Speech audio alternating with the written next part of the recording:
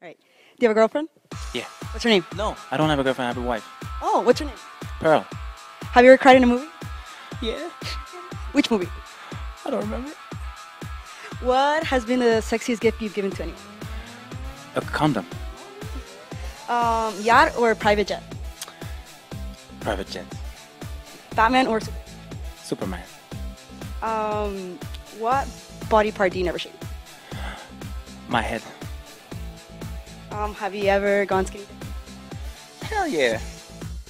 Um, bath or shower? Bath. Um, favorite scent? Favorite scent? Love. Favorite movie?